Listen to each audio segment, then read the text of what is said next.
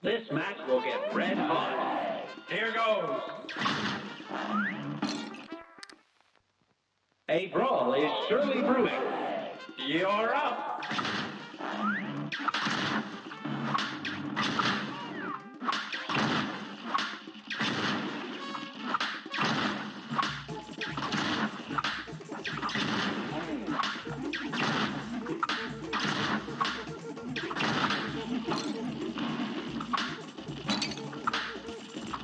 Tucker.